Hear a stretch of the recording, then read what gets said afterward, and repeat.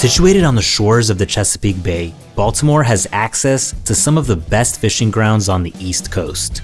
The main targets out here are striped bass, locally known as rockfish. But while stripers are certainly the most popular species around, there are others you'll also get to catch in Charm City. These include bluefish, white perch, flounder, and Spanish mackerel to name a few. Oh, and if you time your visit right, you might also get your hands on some Maryland blue crab, the main ingredient of the state's famous crab cakes.